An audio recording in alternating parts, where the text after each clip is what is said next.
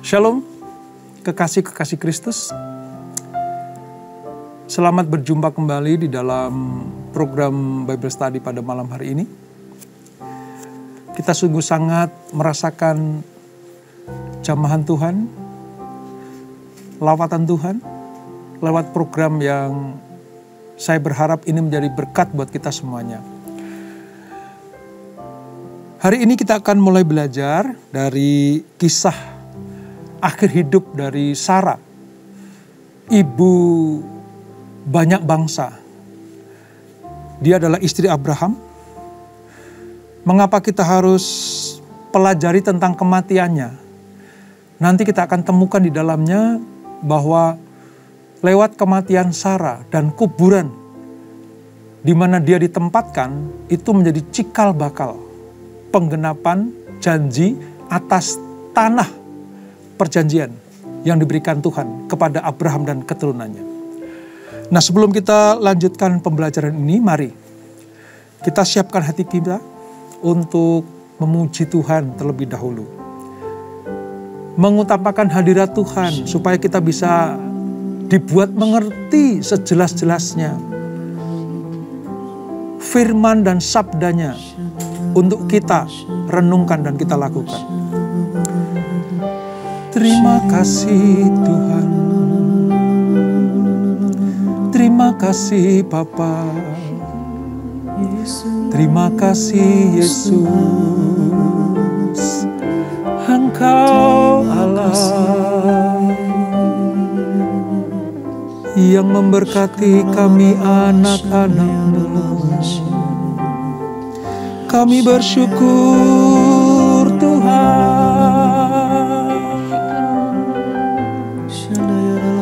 Kami sujud di hadapanmu. Merendahkan hati kami untuk meninggikan Engkau Rajaku. Terima kasih Bapa. Terima kasih Tuhan seperti wanita mengurapimu menangis di bawah kakimu. Demikian hidupku mengasihimu Yesus engkau baik bagiku. Seperti wanita mengurapimu menangis di bawah kakimu demikian hidupku mengasihimu Yesus engkau baik bagiku. Sampai akhir ku menutup mata Ku tetap setia menanti janjimu. Sampai ku dapatkan mahkota kehidupanku. Ku tetap setia untuk melayanimu. Terima kasih Tuhan. Seperti wanita mengurapimu menangis di bawah kakimu. Demikian hidupku mengasihimu Yesus engkau baik bagiku. Sampai akhir ku menutup mata Ku tetap setia menanti janjimu. Sampai ku dapatkan mahkota kehidupanku. Ku tetap setia untuk melayanimu. Sampai akhir ku menutup mata. Ku tetap setia menanti janjimu sampai ku dapatkan mahkota kehidupanku. Ku tetap setia untuk melayanimu. Ku tetap setia untuk melayanimu. Ku tetap setia untuk melayanimu.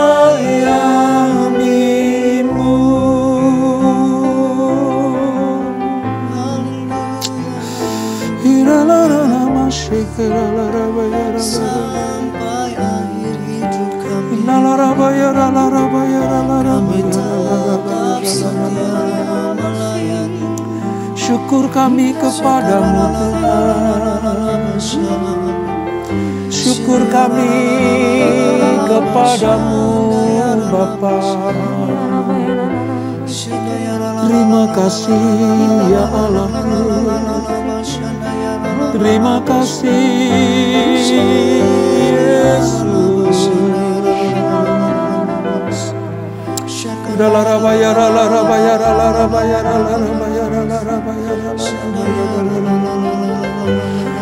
Terima kasih Syukur kami Syukur kami Ku tak membawa apa pun juga saat ku datang ke dunia. Ku tinggal semua pada akhirnya saat ku kembali ke surga. Ku tak membawa apa pun juga saat ku datang ke dunia. Ku tinggal semua pada akhirnya saat ku kembali ke surga. Inilah yang ku punya hati sebagai hamba yang mau taat dan setia padamu Bapa ke mana pun ku bawa hati yang menyembah dalam roh dan kebenaran sampai selamanya.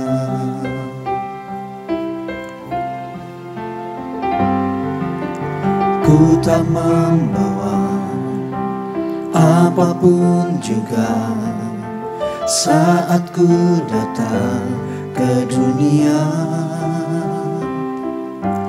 Ku tinggal semua pada akhirnya saat ku kembali ke surga. Inilah yang ku punya hati sebagai hamba yang mau taat dan setia padamu Bapa. Ke mana pun ku bawa hati yang menyembah. Dalam roh dan kebenaran sampai selamanya. Inilah yang ku punya hati sebagai hamba yang mau taat dan setia padamu Bapa ke mana pun ku bawa hati yang menyembah. Dalam roh kebenaran sampai selamanya. Inilah yang ku punya hati sebagai hamba. Yang mau taat dan setia padamu Bapa ke mana pun ku bawa hati yang menyembah. Dalam roh dan kebenaran sampai selamanya. Dalam roh dan kebenaran sampai selamanya. Dalam roh dan kebenaran sampai selamanya. Ya Tuhan, ya Tuhan,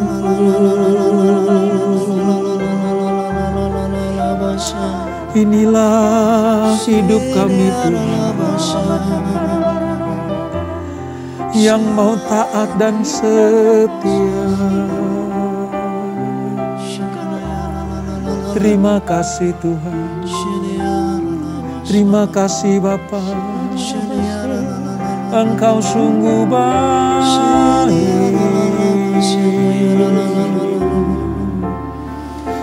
Larabaya larabaya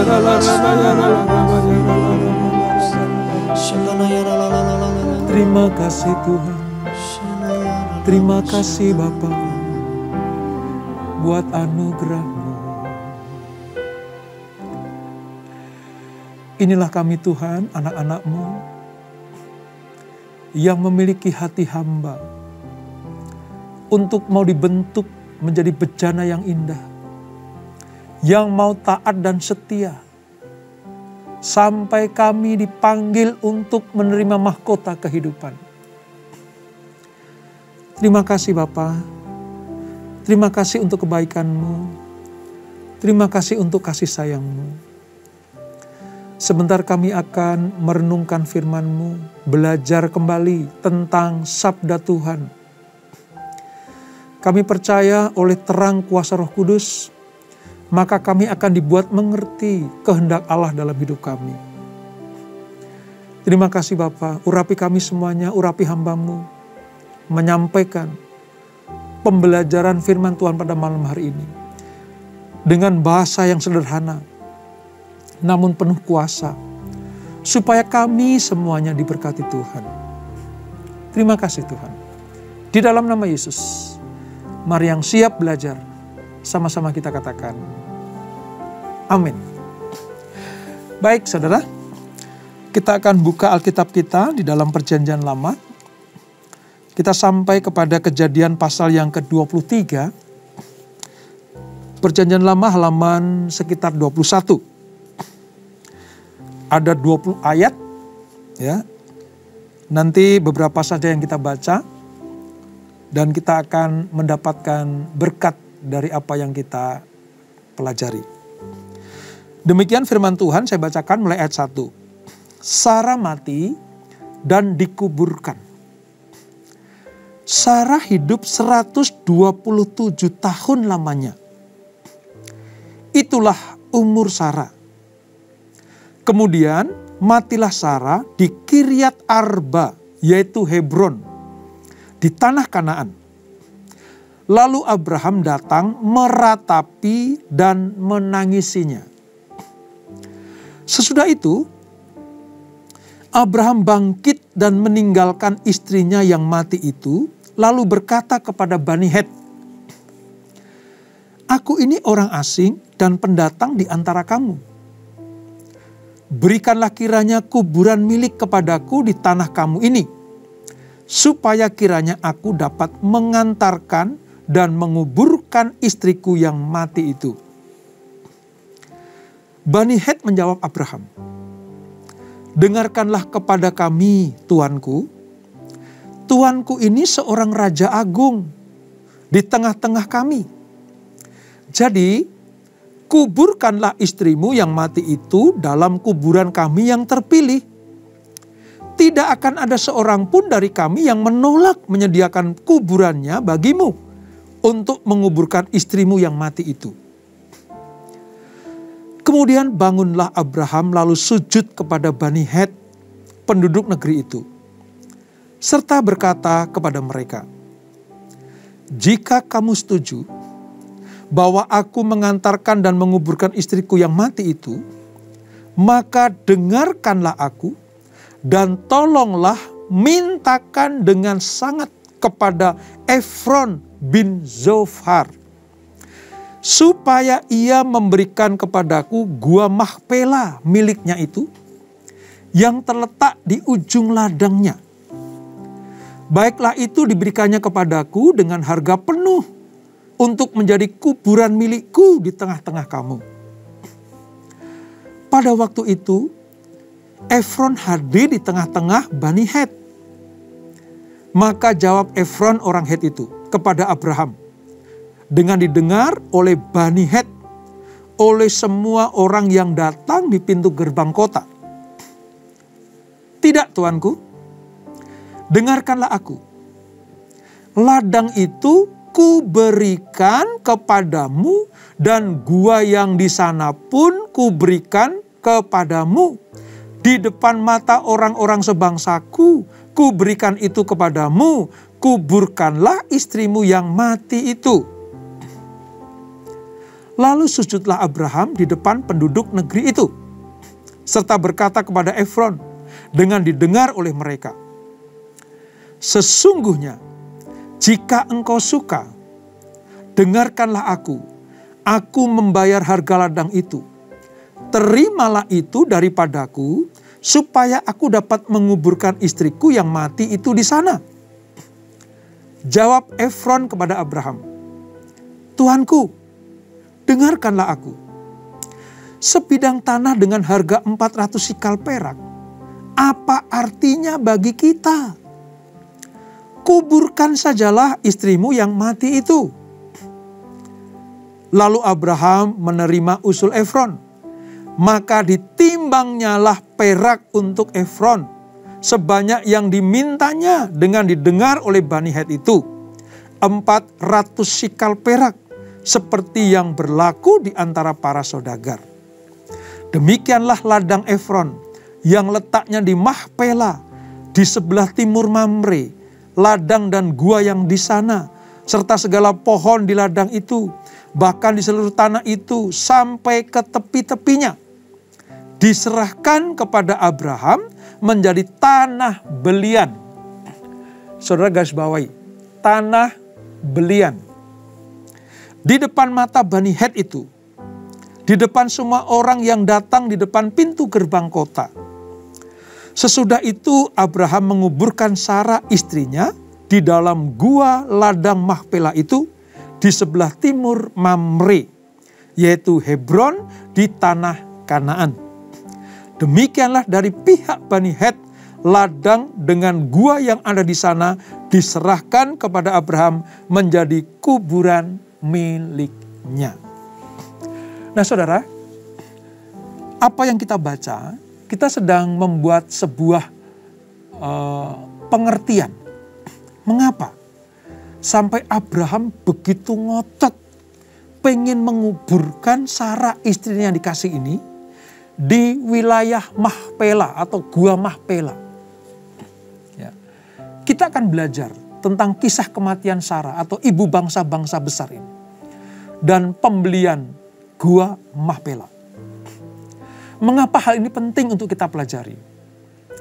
Karena dari pembelian Gua Mahpela ini akan mendasari atas terjadinya kepemilikan tanah perjanjian bagi keturunan Abraham.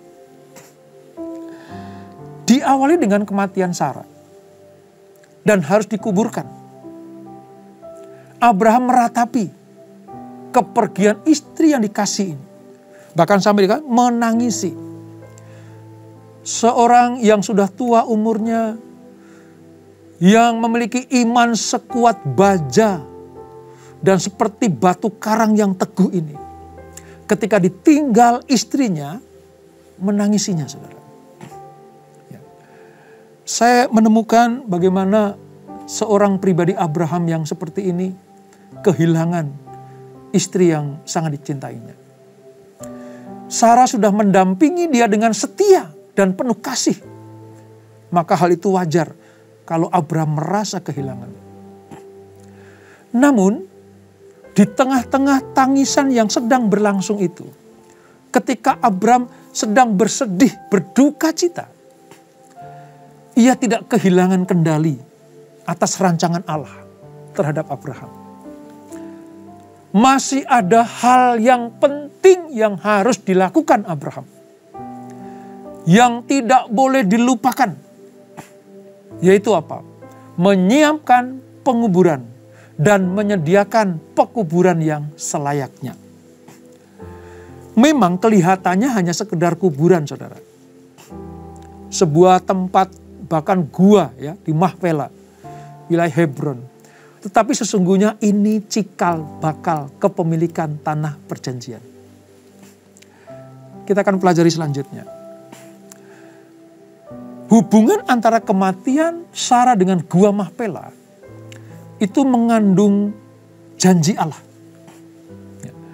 Umur Sarah 127 tahun. Dan hebatnya saudara, di dalam narasi-narasi Alkitab tercatat tentang kematian istri-istri dari bapak-bapak leluhur lainnya yang sangat hebat. Ya. Kita tidak menemukannya, saudara. Tidak ada catatan tentang kematian istri-istri para tokoh iman. Kecuali Sarah. Artinya begini, ya disebutkan, misalnya ya, misalnya Ribka mati, ya. Lalu eh, orang-orang beriman mati gitu ya. Istri dari siapa mati gitu. Ya. Tapi tidak pernah dikupas. Hanya Sarah yang mendapatkan tempat tersendiri. Karena dia menjadi ibu bagi bangsa-bangsa. Leluhur yang lain tidak disebutkan. Kecuali kematian Sarah ayat atau pasal 23 ini panjang lebar menguraikan hal tentang kematian Sarah. Membuktikan apa saudara? Kehebatan iman Sarah. Yang berjalan bersama dengan Abraham suaminya selama sekitar 62 tahun. Dengan penuh kesabaran dan tanpa keluhan. Sarah layak mendapatkan penghormatan untuk dikuburkan sebagai ibu bangsa. Dan dia mendapatkan tempat di Gua Mahpela. Hidup Sarah tidak mudah. Beberapa kali ia melakukan kesalahan. Namun secara garis besar ia tetap percaya kepada Allah. Sampai akhir hidupnya. Karena ia menganggap hanya Tuhanlah yang memberikan janji dan Tuhanlah yang setia. Sarah layak menjadi teladan yang baik bagi semua orang percaya. Abraham sangat mengasihinya. Nah sekarang kita melompat ke Gua Mahpela saudara. Ada apa di Gua Mahpela? Mengapa Abraham tidak mau menguburkan salah di pekuburan umum di milik orang Het. Tapi bersikeras, kekeh membeli gua Mahpela untuk menjadi milik pribadi Abraham. Alasan yang pertama, sampai saat usia tua Abraham bersama dengan Sarah, mereka belum sungguh-sungguh memiliki tanah perjanjian ini. Sampai dengan usia lanjut, bahkan Ishak sudah lahir. Tetapi dia belum betul-betul memiliki tanah perjanjian. Jadi, pembelian Gua Mahpela menjadi milik pribadi Abraham merupakan simbol kepemilikan tanah perjanjian. Tanah perjanjian secara de facto belum menjadi miliknya. Tapi secara de jure, hukum ya, sudah menjadi kepunyaannya. Paling tidak di area pekuburan itu adalah milik Abraham. Karena Abraham kadang berpikir melampaui zamannya, saudara. Abraham punya wawasan melampaui zamannya. Janji Allah tentang keturunannya sudah pasti. Tetapi kepemilikan tanah belum. Makanya alasan Abraham dengan kekeh pengen membeli gua Mahpela itu menjadi landasan iman bagi dia dan keturunannya untuk memiliki tanah perjanjian itu luar biasa. Dia bukan hanya diurapi Tuhan sebagai nabi. Dia bukan hanya mendapatkan janji yang kekal dari Tuhan. Tapi pikiran Abraham yang meloncat jauh, melampaui zamannya, itu memberikan sebuah pengertian bahwa aku harus memiliki secara sah tanah perjanjian. Walaupun dimulai dengan kuburan. Itu alasan pertama. Alasan yang kedua, mengapa Gua Mahpela dijadikan kuburan bagi Sarah dan nanti Abraham dan yang lain-lain. Penguburan Sarah di Gua Mahpela, tanah perjanjian itu melambangkan istirahat yang dinantikan sudah tiba. Kelak bangsa Israel akan dipimpin keluar dari Mesir.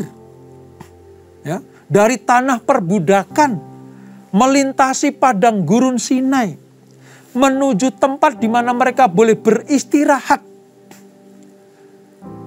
Mereka menetap di tanah air mereka sendiri.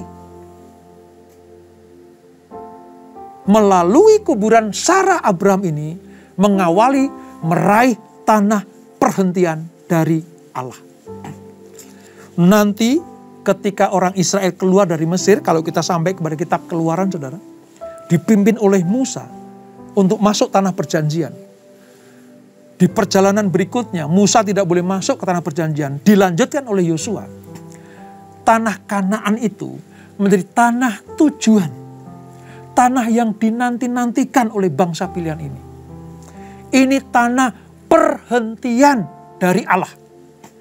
Makanya tidak salah kalau Abram ngotot menguburkan Sarah di situ kuburan identik dengan tanah perhentian kekal.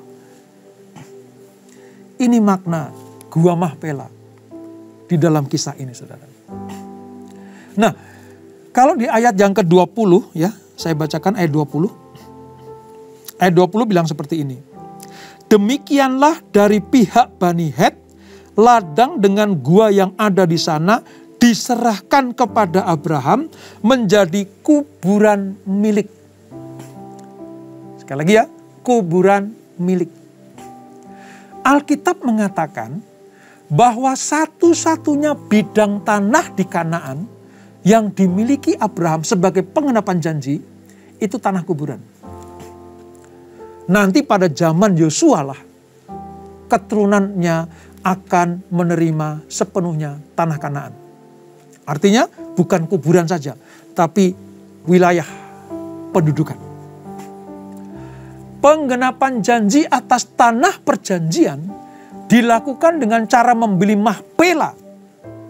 Ini adalah benih. Benih berkat tanah perjanjian. Nah sebagai orang percaya, seperti Abraham, kita tidak boleh mengarahkan hati kita hanya kepada urusan-urusan dunia saja. Tetapi harus menambahkan tanah air surgawi. Di mana Allah telah mempersiapkan sebuah kota bagi kita. Itu Ibrani 11 ayat 16. Seperti Abraham mempersiapkan gua Mahpela bagi Sarah untuk beristirahat di tanah perjanjian ini. Demikianlah ini benih bagi orang percaya. Kalau engkau ingin beristirahat tenang, beristirahatlah di tanah perjanjian. Kalau dulu wilayah Palestina yang disebut sekarang Israel. Tapi wilayah perjanjian kita, tanah perjanjian kita adalah surga yang mulia. Dari sini kita belajar, jangan hanya memikirkan hal-hal yang sifatnya duniawi saja pikirkan juga perkara-perkara yang surgawi. Dunia sementara. Firman Allah berkata, umur manusia ya 70 tahun. Mungkin bisa sampai 80 tahun, tapi lebihnya apa? Penderitaan, artinya terbatas. Pembelian gua Mahpela itu melambangkan bahwa kita akan menempati tempat peristirahatan yang kekal yaitu surga yang mulia. Ini maknanya saudara. Dan tidak mudah sebenarnya. Untuk mendapatkan gua mahpela itu nggak mudah saudara. Kenapa? Alasan utama karena Abraham orang asing. Tidak mudah bagi orang asing untuk membeli tempat. Tetapi Abraham mendapatkan tempat di hati orang-orang Het. Bahkan tadi katakan tuanku. Ya kan? Menyebut Abraham sebagai tuanku. Orang yang dihormati. Mau dikasih gratis. Orang Het menyediakan gratis. Ya. Bahkan si Efron tadi yang memiliki gua mempela, udah pakai aja. Tapi apa enggak? Walaupun aku orang asing, yang kau hormati kau terima, tetapi aku harus memiliki secara sah dan resmi tanah ini, kuburan ini. Ya, nggak mudah memang, tetapi Abraham mendapatkan tempat di hati orang itu dengan 400 sikal perak secara sah diberikan tanah milik Efron itu kepada Abraham. Tindakan ini merupakan perbuatan iman berdasarkan perjanjian. Ya. Hak kepemilikan tanah perjanjian dimulai dari kuburan. Saudara. Nah mari kita lihat. Kalau kita belajar tentang mahpela saudara Mahpela itu artinya tanah dua lapis. Tanah dua lapis. Gua ini digunakan sebagai tanah kuburan bagi keluarga Abraham. Di situ nanti akan dikuburkan Sarah, jelas. Abraham nanti mati akan dikuburkan situ. Ishak anaknya dikuburkan situ. Ribka dikuburkan situ. Lea dan Yakub juga akan dikuburkan situ. Yakub namanya diubah jadi Israel, dikuburkan di Gua Mahpela. Meskipun ya dia mati di tanah Mesir, tapi jasadnya diusung ke tanah Kanaan dan dikuburkan situ. Bertahun-tahun kemudian, ketika generasi Musa jadi, Musa menjadikan tempat di mana tiga bapak leluhur, Abraham, Ishak dan Yakub dikuburkan sebagai dasar perjanjian Allah.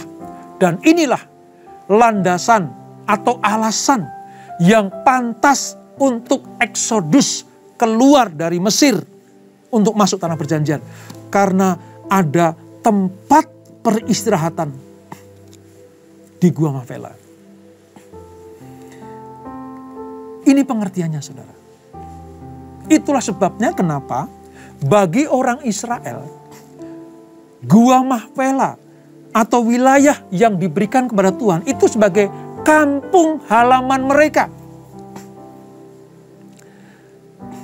Sekali lagi luar biasa pemikiran Abraham. Sebagai orang asing, dia pernah tinggal di Haran, pernah tinggal di Urkasdim, tapi itu sudah tidak bukan kampung halamannya. Sekarang kampung halaman Abraham dengan keturunan adalah di Gua Mahpela itu. Di tempat peristirahat. Di tanah kanaan yang penuh dengan susu dan madu. Kalau Gua Mahpela dan tanah kanaan menjadi kampung halaman orang-orang percaya. Pada zaman Abraham. Kampung halaman kita adalah Yerusalem yang baru. Yaitu surga yang mulia. Coba saudara, Pikirkan hal itu. Dari peristiwa ini, kita belajar sekarang. Kampung halamamu nanti setelah kita tinggalkan dunia ini, di mana? Kampung halaman kita setelah kita keluar sebagai orang asing di dunia ini. Kita seperti orang asing di dunia ini. Kita akan kembali ke mana? Kalau Abraham dan keturunannya sudah jelas ke Gua Mahpela, ke tanah perjanjian, ke tanah Israel, Yerusalem yang sekarang ini. Tapi kita sebagai anak-anak perjanjian rohani Tuhan, kampung halaman kita di mana? Saya mau katakan buat kita semuanya, jadikan Yerusalem yang baru, surga yang mulia, sebagai tujuan kita untuk pulang kampung yang kekal bersama dengan Tuhan. Dan ketika Abraham membeli gua Mahpelah itu, itu tandanya bahwa tidak ada yang gratis. Tidak ada yang eh, cuma-cuma. Tidak ada sesuatu yang sifatnya hanya sekedar pemberian. Tapi ada harga yang harus dibayar. Sebagai kepemilikan. Sebagai hak milik. Abraham membayar dengan penuh 400 sikal perak. Seperti apa yang Efron katakan. Demikianlah kita. Kalau kita pengen pulang kampung ke surga yang mulia. Ke Yerusalem yang baru. Ada harga yang harus dibayar. Ya tidak 400 sikal perak tidak. Tetapi pengertian bayar harga artinya saudara dan saya harus menyerahkan hidup kita sepenuhnya kepada sang pemilik hidup yaitu Tuhan Yesus Kristus. Pelajaran malam hari ini membuat kita mengerti sekarang. Di dunia ini kita orang asing. Seperti Abraham asing di wilayah Gerar di wilayah orang-orang uh, di luar orang Israel, di luar orang Kanaan. Dia adalah orang asing. Sama seperti kita di dunia ini, kita adalah orang asing. Namun puji Tuhan, Abraham memberikan pelajaran buat kita. Dia membeli tanah itu sebagai kampung halamannya.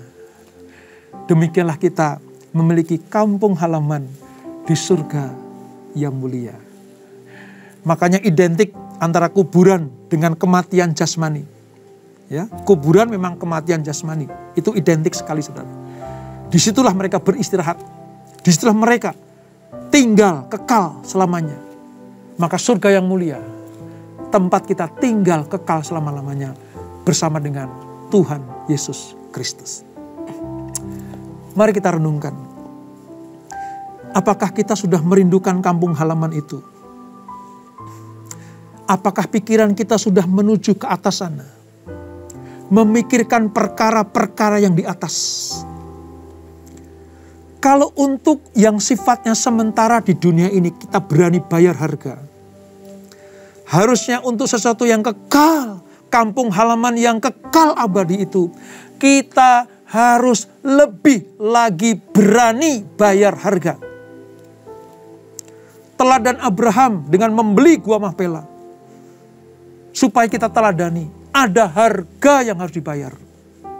Ketaatan kita, kesetiaan kita, pengabdian kita, pelayanan kita, itulah 400 sikal perak yang Tuhan nantikan. Terima kasih Bapak. Terima kasih untuk pembelajaran pada hari ini. Ajar kami mengerti sekarang. Supaya kami memikirkan perkara-perkara yang di atas tempat peristirahatan yang kekal, kampung halaman kami yang kekal, yaitu Yerusalem yang baru, surga yang mulia. Kalau kami belum memikirkan hal itu ya Tuhan, ampuni kami. Mulai saat ini kami akan semakin giat lagi melakukan perkara-perkara yang benar dan memikirkan perkara-perkara yang di atas. Berkati kami semuanya. Berkati anak-anakmu yang melihat program ini semuanya diberkati Tuhan. Bukan hanya sedang mendengar firman Tuhan. Bukan sekedar belajar, tetapi juga kami menjadi pelaku-pelaku firman. Berkati anak-anakmu Tuhan. Berkati kami semuanya. Yang sakit disembuhkan. Yang berbeban berat diberikan kelegaan. Ketika mereka putus asa, Tuhan berikan pengharapan yang kuat. Berkati ekonomi anak-anakmu. Rumah tangga demi rumah tangga diberkati Tuhan. Usaha, bisnis, dan pekerjaan semuanya dibuat Tuhan berhasil. Menjadi kepala dan bukan ekor. Terima kasih Bapak. Kami serahkan kehidupan kami ke dalam tangan pemeliharaan Tuhan. Dan sebelum kami berpisah, kami siapkan hati kami menerima berkat yang dari balamu. Kekasih-kekasih Kristus arahkan hatimu kepada Tuhan. Terimalah berkat kasih anugerah dari Allah Bapa yang berlimpah-limpah di dalam anaknya yang tunggal Tuhan Yesus Kristus dan persekutuan yang dalam Roh Kudus menyertai kita semuanya mulai saat ini sampai selama-lamanya Kita diangkat oleh Tuhan di awan-awan yang permai. Bertemu muka dengan dia. Menikmati kemuliaan kekal sampai selama-lamanya. Yang diberkati. Sama-sama kita katakan amin. Selamat malam. Selamat beristirahat dalam pagar perlindungan kasih Tuhan. Tuhan Yesus memberkati.